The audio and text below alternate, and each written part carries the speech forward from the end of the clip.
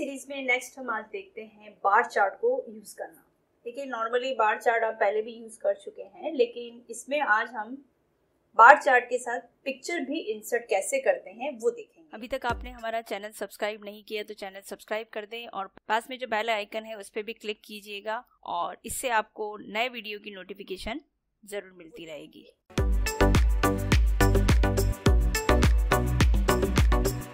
देखिए, हमारे पास यहाँ पे एक बार चार्ट इंसर्ट किया हुआ है, जिसमें हमने एक टेबल बना रखी है। देखिए, ये टेबल है हमारी। इस टेबल में कुछ यहाँ पे एम्प्लॉयज़ के नाम हैं और उनको कोई टारगेट दिया गया है कि आपका ये टारगेट है कि आपको इतना सेल करना है किसी एक पर्टिकुलर आइटम को। लेकिन एक्चुअल उनका जो सेल हुआ है, ये है। तो टारगेट और एक्चुअल जो वैल्यू है, वो दोनों हमारे सामने दे रखी है। अब हर एक पर्सन ने कितना काम किया है, कितना टारगेट उनका अचीव हुआ है, ये सारी चीज़ें हम एक बार के रूप में और उनकी फ़ोटो के साथ हम उसको सेट करेंगे। तो देखिए कैसे करते हैं, जैसे यहाँ पे हमारे पास टारगेट है। टारगेट कितना दे रखा है, ये टारगेट वैल्यू सेट की हुई है। और अगर हम चाहते हैं कि एक्चुअल कितना हुआ है तो एक्चुअल में आ गया। तो ये बार चार्ट देखिए, इस तरह से आपको मॉडिफाई होता हुआ दिख रहा है। टारगेट अगर बढ़ गया है तो बढ़ा हुआ दिख रहा है। जैसे इस प्रशांत का हम अगर देखना चाहें तो प्रशांत का टारगेट जो है वो 300 का है। ये देखिए आपका ये बार जो है वो 300 पे जाके रुका हुआ है और इसकी पिक्चर भी आपको साथ में दिखाई दे रही है। लेकिन इसने अचीव कितना किया? यानी एक्चुअल उसकी पोजीशन कितनी है? उसने डेढ़ सौ ही किया है। तो देखिए डेढ़ सौ पे आपका ये बार चार्ट जो है प्रशांत का आके यहाँ रुक जाता है। तो इस तरह से हम बार चार्ट को यूज़ कर सकते हैं। ये कैसे बनाया जाता है? बहुत ही सिंपल है। आइए चलते हैं, बनाते हैं इसको। तो सबसे पहले हम एक नई शीट इंसर्ट कर लेते हैं यहाँ से। अभी नई शीट पे हम ये वाला डेटा जो है वो कॉपी कर लेते हैं। ये हम डेटा कॉपी कर रहे हैं, ये वाला।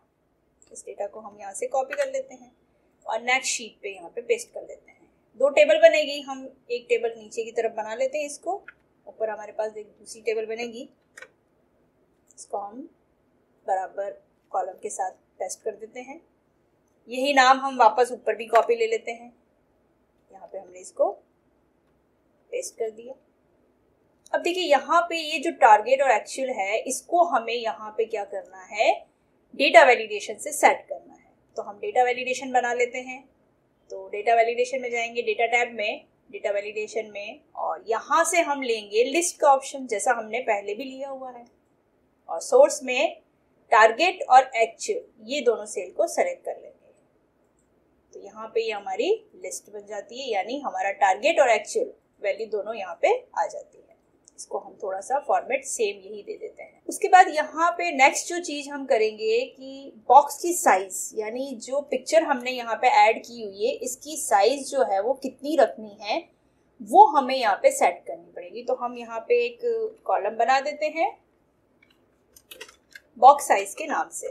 ये हमने बॉक्स साइज़ सेट कर लिया है। बॉक्स साइज़ कितनी चाहिए? जैसे हमने यहाँ पे रख ली दस। अब ये दस जो बॉक्स साइज़ हमने सेट की है, वो यहाँ पे सभी में सेट होना चाहिए।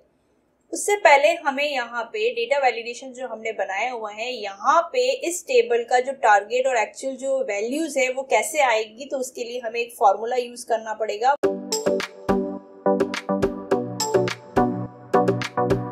लुकअप फॉर्मूला यूज़ करेंगे। ब्रैकेट ओपन किया और यहाँ पे सबसे पहले वी लुकअप वैल्यू पूछा जा रहा है तो वी लुकअप वैल्यू कौन सी बनेगी? ये वैल्यू हमारी, यानी फ़र्स्ट जो सेल है फ़र्स्ट एम्प्लॉय का जो नाम है, वो हमें ले लेना है। उसके बाद टेबल अरे टेबल अरे यानी कौन सी टेबल है? एक्चुअल वैल्यू कहाँ मिलेगी हमको? जो जो मेन टेबल है, उसको सेलेक्ट कर लेंगे। ये हमने सेलेक्ट कर लिया। फिर कॉलम इंडेक्स नंबर अब यहाँ पे ये ध्यान रखना है कि हमें कॉलम इंडेक्स नंबर कितने देने हैं, लेकिन एक चीज़ का ध्यान रखेंगे कॉलम इंडेक्स नंबर देने से पहले यहाँ पे हमें एक छोटा सा स्टेप यूज़ लेना पड़ेगा। कॉलम इंडेक्स नंबर अगर हम टू लेते हैं थ्री लेते हैं तो वो सिंगल हो जाएगा। हमें यहाँ पे मैच को यूज़ करना है कि हमें उस पर्टिकुलर कॉलम नंबर को ही लेना है तो मैच का काम ही यही है कि पर्टिकुलर रो या कॉलम को सर्च करके बताता है कि कौन से नंबर पे वो रो और कॉलम है।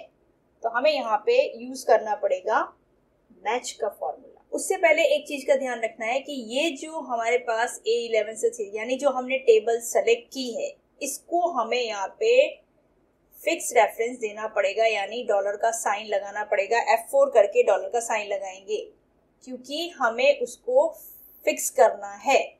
नहीं तो क्या होगा कि वो चेंज नहीं हो पाएगा और बार बार हमें वैल्यू सही नहीं मिल पाएगी तो इसको फिक्स रेफरेंस में हमने सेट कर दिया। उसके बाद कॉलम इंडेक्स देने से पहले हमें यहाँ पे लेना है मैच का फॉर्मूला तभी हमें सही एक्चुअल कॉलम मिल पाएगा। मैच लिया लुकअप वैल्यू क्या है हमारे लिए? लुकअप वैल्यू जो अब हमारे लिए जो बनेगी, वो है हमारी ये एक्चुअल टारगेट जो हमने बनाया है, जहाँ पे डेटा वैलिडेशन सेट किया है, वो वाला सेल हमको लेना है। और इसको भी हमें फिक्स रेफरेंस में सेट कर देना है F4 प्रेस करके। उसके बाद नेक्स्ट जो चीज़ हमसे पूछी जा रही है, वो है लुकअप अरे लुकअप अरे जो है, वो है हमारा ये, भाई कौन सा कॉलम नंबर हमसे पूछा जा रहा है, किस कॉलम में टारगेट है, किस कॉलम में एक्चुअल है, किस कॉलम में नेम है तो वो हमें ये ले लेना है.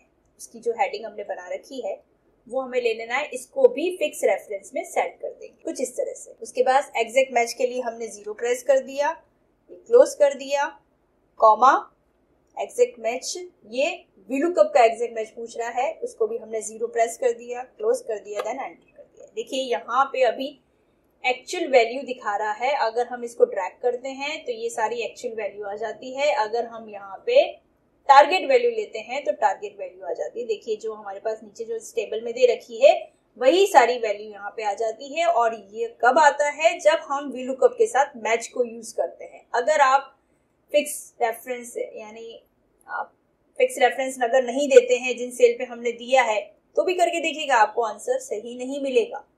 तो यहाँ पे, जहाँ जहाँ पे हमने फिक्स रेफरेंस दिया है, आपको ये ध्यान रखना है, आपको भी वहाँ वहाँ पे फिक्स रेफरेंस देना है। यहाँ पे हमने जो नाम का फ़र्स्ट सेल का जो लिया था एड्रेस ये हमने इसलिए फिक्स नहीं किया कि हितेन के बाद, जैसे जय का आएगा, जय के बाद महेंद्र का आएगा, महेंद्र के बाद माया का आएगा तो इस तरह से हर एक वैल्यू चेंज होगी, इसलिए हमने उसको फिक्स रेफरेंस में सेट नहीं किया है। यहाँ पे टारगेट वाला जो सेल दिया था, उसको हमने फिक्स रेफरेंस में सेट किया था। क्यों? क्योंकि उसी सेल के अंदर वो दोनों चीज़ें हैं। तो हमें उसको चेंज करने की ज़रूरत नहीं पड़ेगी, इसलिए उसको फिक्स करना ज़रूर। तो ये चीज़ का ध्यान रखिएगा कि फिक्स रेफरेंस हमें कहाँ पे यूज़ करना फिर हमें यहाँ पे बॉक्स साइज़ सेट अब बॉक्स साइज़ जो हमने, जैसे टेन ली है ट्वेल्व ली है एट ली है, जो भी हम लेते हैं, वो हम अपनी पिक्चर के अकॉर्डिंग सेट करेंगे कि पिक्चर कैसी है। उसके अकॉर्डिंग हमें वो सारी चीज़ें सेट करनी पड़ेगी। तो यहाँ पे वो चीज़ सेट करने के लिए आपको क्या करना है? सिंपल सा तरीका इक्वल्स टू किया, ये नंबर लिया, और इसको भी फिक्स रेफरेंस में सेट कर, देखिए, अभी मैं आपको डॉलर का यूज़ बताती हूँ कि फिक्स रेफरेंस क्यों किया जाता है। यहाँ पे मैं आपको बता देती जैसे मैंने यहाँ पे इसको फिक्स नहीं किया और मैंने यहाँ पे टेन को ले लिया। अब ये जो हम यहाँ पे चेंज करेंगे तो यहाँ पे भी चेंज होगा, जैसे यहाँ पे किया, यहाँ पे भी हो गया। जैसे एट हमने यहाँ लिखा तो यहाँ पे भी हो गया, क्योंकि हमने वो वाला सेल का लिंक यहाँ पे दे दिया। लेकिन अगर हम इसको ड्रैग करते हैं तो क्या हुआ? देखो ज़ीरो वैल्यू आ रही है। इसका मतलब क्या है? हमें इसको फिक्स करना पड़ेगा। फिक्स रेफरेंस से हमें यानी डॉलर का साइन लगा के इसको फिक्स करना पड़ेगा। तब जाके हमको सेम वैल्यू सभी पे मिल जाएगी। ये देखिए। तो समझ में आई बात कि जहाँ पे हमें फिक्स करना है, वहाँ पे डॉलर का साइन लगाना है। अब टेन करेंगे तो सभी जगह पे आपको क्या मिल जाएगा? टेन मिल जाएगा। ट्वेंटी करेंगे तो क्या मिल जाएगा? ट्वेंटी हो जाएगा। ये इस तरह से हमें फिक्स रेफरेंस सेट करना पड़ेगा।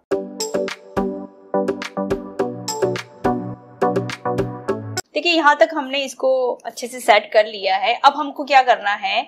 चार्ट बनाना है तो ये हमें सेलेक्ट कर लेना है। ये जो हमने टेबल बनाई है, उसको सेलेक्ट करने के बाद इंसर्ट में जाना है। इंसर्ट में आपको यहाँ पे बार चार्ट के अंदर यहाँ पे आपको ये सेकंड वाला, वो वाला चार्ट आपको लेना है सेकंड वाला। ये हमने चार्ट इंसर्ट कर दिया। देखिए, कुछ इस तरह से आपको चार्ट दिखाई दे रहा है।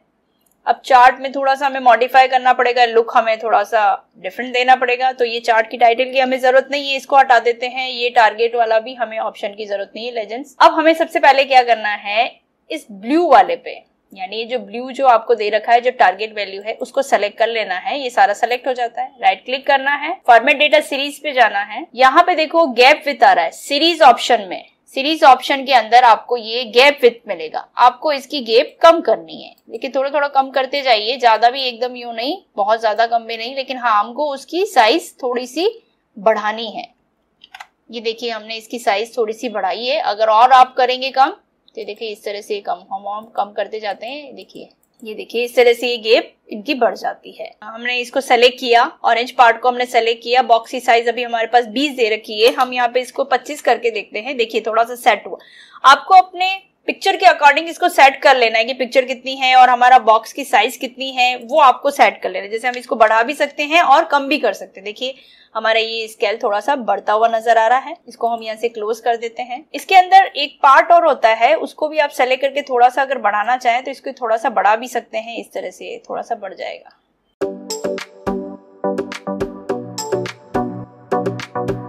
अब हमें ये जो बॉक्स की साइज़ है, देखिए हमें स्क्वायर शेप मिल गई है। तो अब हम इसमें पिक्चर्स ऐड कर सकते हैं। आप चाहें तो और इसकी साइज़ थोड़ा सा उन्नीस बीस हम कर सकते हैं, अपने हिसाब से। सिर्फ़ आपको ये ऑरेंज पार्ट ही सेलेक्ट करके और बॉक्स की साइड आप यहाँ पे ले लेंगे। देखिए थोड़ा सा हमें सही नहीं लग रहा है। तीस पे ही सही है, हम तीस ही कर देते हैं उसको। ये देखिए हमारा तीस पे ही सही है और एक पिक्चर इसमें सेट हो जाएगी। अभी देखिए, सारे ऑरेंज पार्ट सेलेक्ट हैं। अगर आप सारे ऑरेंज पार्ट सेलेक्ट करेंगे तो एक ही पिक्चर सब पे सेट हो जाएगी। हम पे, हमको सभी एम्प्लॉयज़ की अलग अलग पिक्चर सेट करनी है। डबल बार क्लिक करेंगे इसको, एक सिंगल को। उसके बाद यहाँ पे फील ऑप्शन में जाएँगे। ये फील ऑप्शन ये फॉर्मेट डेटा पॉइंट वाला ऑप्शन खुल जाता है। राइट क्लिक करके डेटा फॉर्मेट डेटा पॉइंट ये वाला ऑप्शन आप सेलेक्ट करेंगे तो ये वाला ऑप्शन खुलेगा। ऑलरेडी खुला हुआ है, जैसे हमने क्लिक किया। फील पे जाएँगे। फील पे आपको यहाँ पे पिक्चर और टेक्सचर फील वाला ऑप्शन लेना है।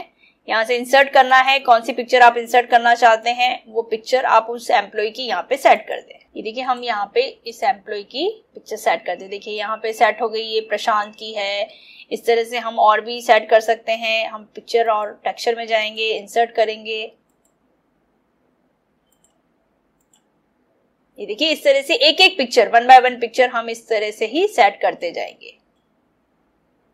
ये देखिए, इस तरह से हमने सारी पिक्चर्स उन बॉक्सेस में सेट कर दी है और वो बॉक्सेस भी हमारे सही तरीके से सेट हो गए हैं। अब आप देखिए, यहाँ पे जो हमने डेटा वैलिडेशन में टारगेट और एक्चुअल को सेट किया था, अगर हम एक्चुअल वैल्यू लेते हैं तो देखिए, उस एम्प्लॉय की एक्चुअल वैल्यू दिखाई देती है और उन एम्प्लॉयज़ के फेस भी आपको यहाँ पे दिखाई दे रहे हैं, क्योंकि हमने उनकी फ़ोटो यहाँ पे सेट की है। ये देखिए टारगेट लेंगे टारगेट बन गया। उनका टारगेट क्या था और उन्होंने कितना अचीव किया है? उन्होंने एक्चुअल वैल्यू उनकी कितनी रही है? ये रही है। तो ये काफ़ी इंटरेस्टिंग है। हमने आपको कुछ इस तरीके से बताया। आप इसको और अलग अलग पैटर्न पे यूज़ कर सकते हैं। तो बार चार्ट को थोड़ा सा इंटरेस्टिंग बनाना हो तो एम्प्लॉयज़ की पिक्चर्स भी उसमें हम सेट कर सकते हैं। आप अगर फ्रूट स्केल का बनाते हैं तो फ्रूट सेट कर सकते हैं। आपने अगर किसी और चीज़ का, जैसे कार का बना रहे हैं तो कार सेट की जा सकती है। बहुत सारी चीज़ें हैं आप किसी भी तरीके से उसको सेट कर सकते हैं।